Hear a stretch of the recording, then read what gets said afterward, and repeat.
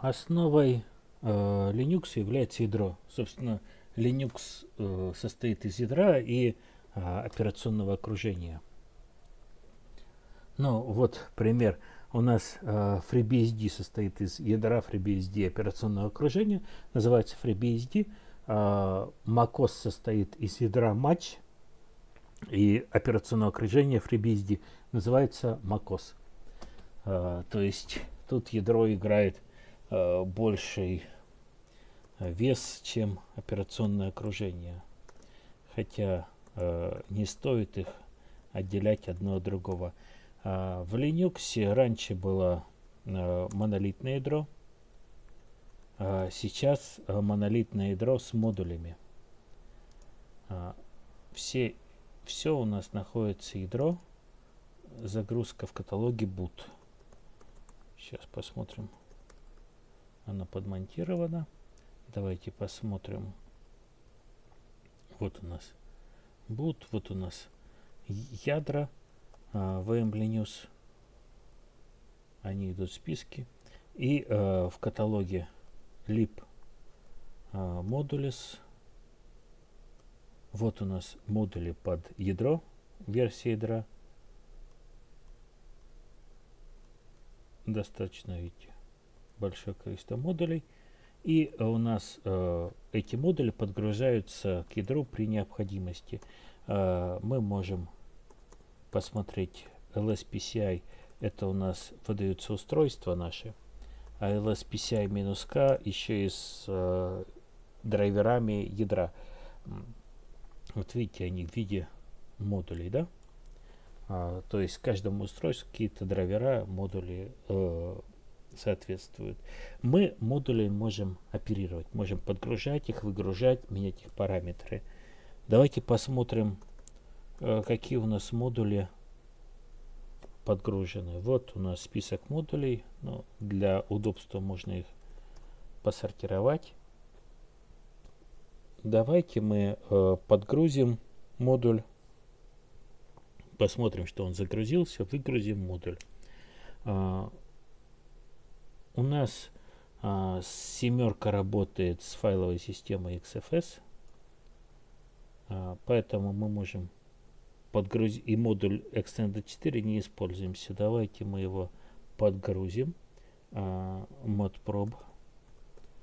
Это, это пробует загрузить модуль. То есть вот а, нормально ли он будет работать. Если получается загрузить, он его э, загрузит. Значит, вот мы сейчас текущее смотрим. Э, grep ext ничего нету. Э, modprop ext 4 lsmod ext. Вот у нас подгрузилась э, модуль X4. Что у нас видно? А, сам этот модуль ничем не используется. Ноль. Никому он не нужен на данный момент. Никакие файловые системы его не используют. А, а сам модуль X4 использует вот два таких модуля. А, кэш блоков и отладка. А, значит, давайте мы посмотрим информацию. Mod info x4. Информация о модуле. А, вот у нас модуль, где расположен, описание его, авторы, все-все-все-все, зависимости. А, и все. А, тут у нас еще могут идти параметры, но мы видим, что никаких параметров у этого модуля нету он просто подгружается. Интересно, что у нас есть, видите, файловые системы еще такие, а они обозначены как альясы. То есть у нас э, подгружаются все равно модуль Extended 4. Ну, вот, наверное, так это надо понимать. Давайте мы его э, выгрузим, попробуем выгрузить. Ext 4. Так, LSMod. О, исчез. Вот он выгрузился. А теперь попробуем выгрузить а, XFS XFS. Нет, мы не можем выгрузить XFS, потому что э, он используется, да? Давайте. XFS. Вот мы видим, что XFS используется э, двумя какими-то модулями. Ядром он используется э, значит, для файловых систем. А сам XFS использует э, CRC32. Э, собственно, вот таким вот образом мы можем э, управлять э, нашими модулями.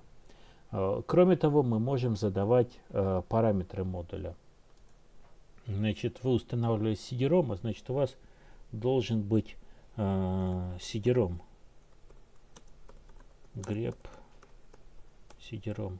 Вот у нас есть модуль CD-ROM. Он используется модулем э, SRMod. Э, значит, э, попробуем удалить CD-ROM. matprop минус R CD-ROM. Нет, не получается. Написано, что он используется. Но мы видим, что он только одним модулем используется. А, SR-мод. И теперь CD-ROM. Так. LS-мод. А, grep. CD-ROM. Нету его. Давайте, собственно, посмотрим мод инфо. А, можно вот SR мода посмотреть, что это за модуль. Вот. Это э, SCSI модуль, SCSI CD-ROM. То есть это представление, что у нас есть SCSI устройство CD-ROM. А, и э, посмотрим. Вот тут вот у нас появились параметры. То есть какие параметры он использует. Э, ну вот, например, у нас параметр э, debug есть. Давайте мы э, значит подключим модуль CD-ROM с параметром debug. Давайте. Да, вот он. А, подключился. А, обычно все а,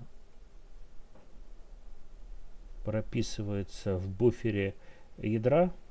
DMESC это вот э, доступ к этому э, debug messages буферу ядра, но вот у нас э, с cd это не совсем так, то есть мы получили, что он э, выгружен, но сообщения о загрузке модуля э, собственно нету. Э, нам бы это сделать э, на постоянной основе. А для этого у нас есть каталог а, etc. modprop. А, вот видите, вот у нас а, каталог описывает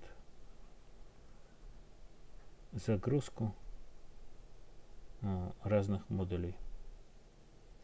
А, а именно вот тут он задает опцию при загрузке э, модуля. Давайте мы сделаем touch э, cd-rom conf